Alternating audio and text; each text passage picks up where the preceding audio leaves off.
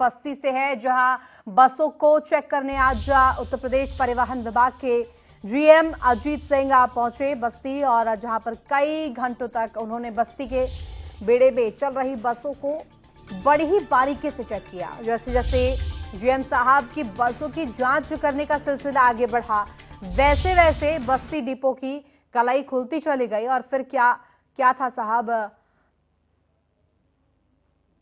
बस्ती depot अधिकारियों और कर्मचारियों को जमकर लताड़ा गया।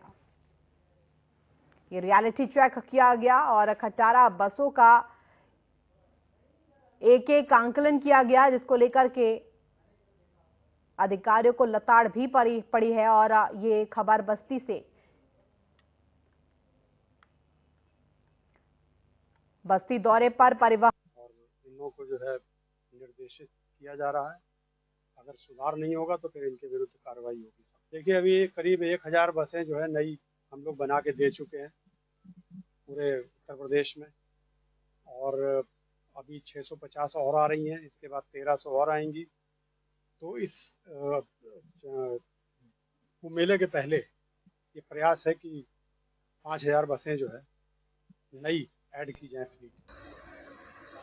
और अब